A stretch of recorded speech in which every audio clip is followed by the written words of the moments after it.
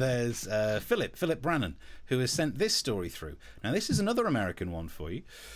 Uh, you'll know more than me, but The Bold and the Beautiful, it's like a Ah. soap opera thing, is it? Yep, daytime soap. Daytime soap opera. Apparently, they will start filming again, but they will be using blow up sex dolls so that they can resume filming of the sex scenes, um, which I think is.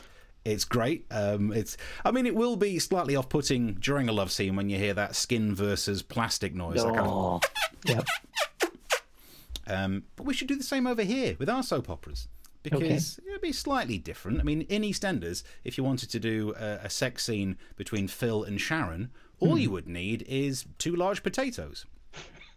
um, all right, Sharon, take your jacket off. Take your jacket off. Uh, if anyone has made a donation, I can do refunds. I did a joke.